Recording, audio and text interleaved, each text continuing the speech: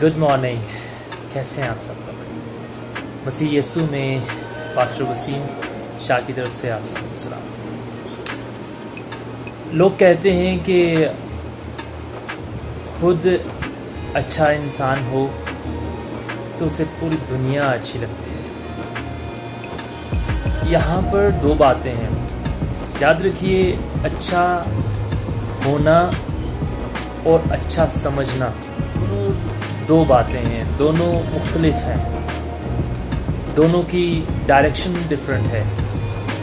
अच्छा समझना जो है ये वो बात है कि जिसमें इंसान खुद पसंदी में गिरफ़्तार होता है। वो ये समझता है कि उसके अलावा और कोई अच्छा नहीं। वो ये समझता है कि वो बिल्कुल ठीक है। उसके अलावा कोई सच्चा नहीं है, उसके अलावा कोई ठीक नहीं है, वही सीधे रास्ते पे है, वही हक है। और ये सब बातें जब वो समझता है तो फिर वो अपने आप को समझता है कि मैं सही हूँ तो फिर सारी दुनिया सही ये गलत लॉजिक है। अगर आप लोग इस लॉजिक को मानते हैं तो आज से कोशिश करें कि आज से इस चीज़ को अंदर से दूसरी बात जो दूसरी डायरेक्शन है, वो ये है कि अच्छा होना। अच्छा होना, ये रूहानी अमल है। ये रूहानी है, उसमें आप अच्छा अपने आप को समझते नहीं उसमें आप अच्छा बनने के लिए प्रैक्टिस करते हैं। उसमें आप तमाम दुनिया के अलूम समेट लें, तमाम दुनिया की मजहबी अलूम समेट लें। और अपनी ज़िंदगी में सजा और दुनिया आपको फिर अच्छा समझती है।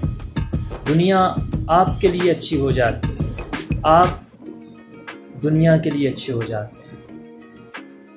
इसमें आप दुनिया के लिए कोई टेंशन नहीं बनते। शुरू शुरू में हो सकता है कि बाज़ लोग आपसे, आपको नापसंद करें। हो सकता है कि कुछ लोग आपको धुतकारें।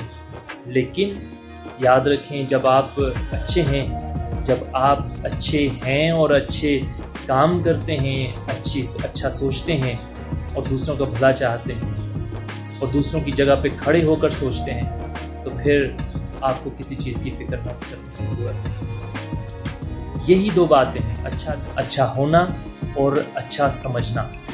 ये दो डिफरेंट हैं। आप किस कैटेगरी को चुनते हैं, आप किस कैटेगरी के हैं आप क्या सोचते हैं, आज तक क्या सोचते रहे? इस करें इन दोनों बातों में डिफरेंस करें और इन दोनों बातों पर ध्यान और क्या करें? आप किस कैटेगरी में फॉल करते हैं? आप क्या सोचते हैं अपनी ज़िंदगी के बारे में?